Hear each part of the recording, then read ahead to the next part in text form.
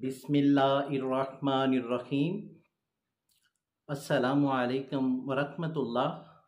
उम्मीद है कि आप खैरियत से होंगे। तो वीवोज़ अल शफा दवाखाने की जानब से मैं हूँ मुआलज हकीम मोहम्मद अमानत अली। तो वीवोज़ आज हम आपको एक सफ़ूफ़ का नुस्खा बताने जा रहे हैं और ये सफ़ूफ़ ख़वातीन हजरात के लिए है। और वो लेडीज़ जिनको कसरत तमस का मसला बन चुका है और इसके लिए काफ़ी परेशान है, काफ़ी टोटके इस्तेमाल कर चुके हैं। तो उनके लिए ये सफ़ूफ बहुत ही उम्दा सफ़ूफ है। वो लेडीज़ और वो ख़वातीन जिनको कसरत हैज़ का मसला बन चुका है, यानी कि एक मंथ के अंदर अंदर तीन दफ़ा पीरियड आ जाते हैं और इसके लिए बहुत परेशान हो चुकी हैं। काफ़ी महँगी मेडिसन इस्तेमाल कर चुकी हैं, काफ़ी टोटके इस्तेमाल कर चुके हैं तो अभी तक उनको फ़ायदा नहीं हो रहा। तो भी वो वो ख़वातीन और वो लेडीज़ ये सफ़ू प्रॉपर एक हफ़्ता इस्तेमाल करेंगी तो इन उनको पहली डोज से ही रिज़ल्ट मिलना शुरू हो जाएगा। और वो लेडीज़ जिन्होंने वक्फे के लिए टेबलेट यूज़ की है या वक्फे के लिए इंजेक्शन लगवाया है तो उनको भी ये मसाइल बन जाते हैं। जैसा कि एक मंथ के अंदर तीन दफ़ा पीरियड आ जाते हैं, दो दफ़ा पीरियड आ जाते हैं तो इसके लिए आप यही सफूफ प्रॉपर एक हफ़्ता से दस दिन इसको यूज़ करेंगे। तो जैसा जैसा इसको यूज़ करते जाएँगे इन शफा होगी। और इसके इस्तेमाल करने से आपकी जो कैल्शियम की कमी है या विटामिन ई e की कमी हो चुकी है, वो भी आपकी इसके इस्तेमाल करने से पूरी हो जाएगी। और वो लेडीज़ जिनको मसाने में गर्मी हो चुकी है और हाथ पाँव जलते हैं, गुस्सा बहुत आता है, मैदा तबखीर हो जाती है तो उनके लिए भी ये सफ़ू बहुत ही लाजवाब चीज़ है। और इसके इस्तेमाल करने से कोई साइड इफ़ेक्ट नहीं है तो आप एक डोज यूज़ करेंगी तो इसके इस्तेमाल करने से आपको बहुत ही ज़्यादा रिज़ल्ट मिलेगा।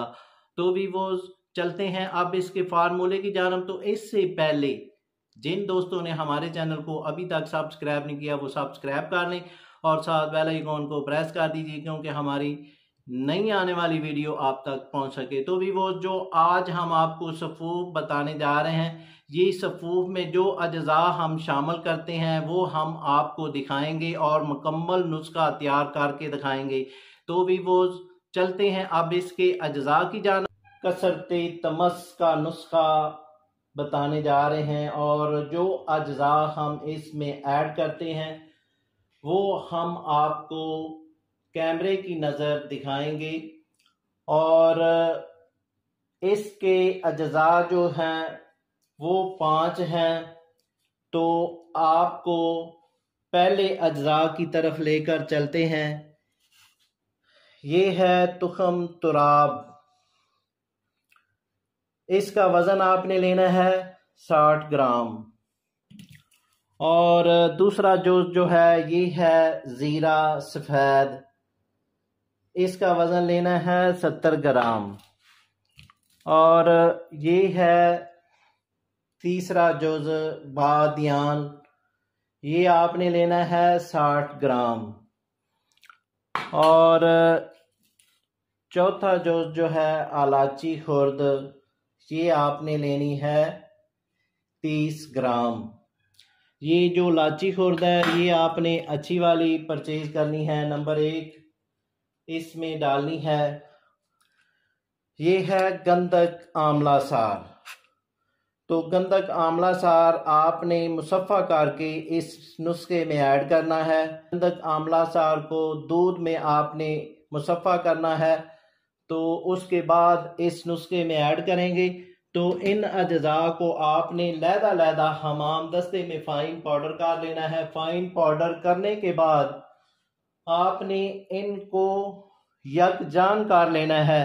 यकजान करने के बाद तरकीब इस्तेमाल इसकी इस तरह है।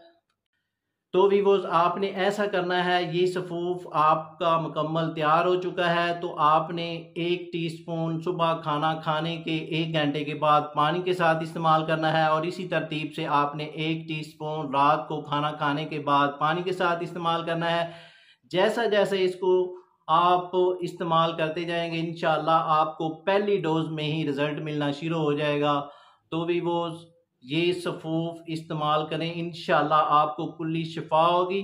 तो वीवोज़ इसके साथ हम आपसे इजाज़त तलब करना चाहते हैं। तो वीवोज़ मिलते हैं एक नई वीडियो के साथ। शुक्रिया। असलकम